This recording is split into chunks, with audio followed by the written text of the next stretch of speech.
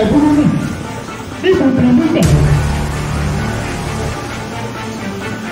Nígbà tó ń wò ó. Where are you since I've been telling you now? ìràwọ̀ òwúrọ̀ Kí ló dé? olúwa Wo iṣẹ́ tí mo gbúdọ̀ lọ́wọ́? Ò mà ṣe. Kó o sì mọ̀ wípé olóògùn orí àwọn wọ̀nyí ò ní pẹ́ dé mọ́. And you surely know that when it arrives at any moment of this time, means we have lost already. And that must not happen. What are you doing? olúwa mi wọ́n gbìyànjú ikú náà fi lọ́kọ̀ ọ̀fẹ́ tàbí kó fẹ́ kú o. àwọn wọ̀nyí olúwa mi wọ́n dúró nínú ìṣọ̀kan àti ìfẹ́ gẹ́gẹ́ bẹ́ẹ̀ ni ẹ̀ ti mọ̀ níbi tí ìṣọ̀kan àti ìfẹ́ bá wà ó máa ń nira fún wa àti wọ olúwa mi mò ń sá gbogbo ipá mi kì í ṣẹ̀bi mi ṣùgbọ́n mo mọ̀ pé wọ́n á tẹ̀ wọ́n láìpẹ́.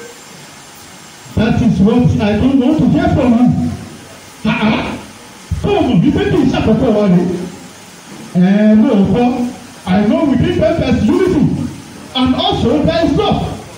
But see, if there something like this, we still have another way to do to do or to take our action. What are you doing now? Okay, listen to me. This is what we are going to do. We are going to penetrate and look for only one among them that is just little slack in prayer. Then we enter through her and cause misunderstanding between them. Jẹ́ kí n sọ fún ẹ o, a ò gbọ́dọ̀ pàdánù lórí àwọn ọkùnrin yìí. Olùkórè wo ní pẹ́pẹ́? Tọ́pọ́ sì dé nínú àkókò yìí, á jẹ́ wípé a ti kòtó. Èmi ò fẹ́ kó owó ti ṣọ̀kan tó wà láàárín wọn.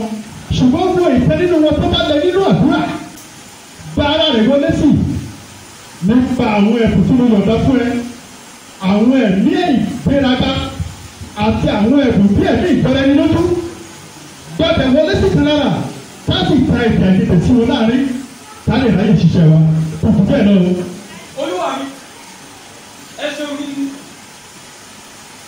ṣùgbọ́n àwa fi dá yín lójú pé àṣejù bẹ́ẹ̀ ṣe lérò.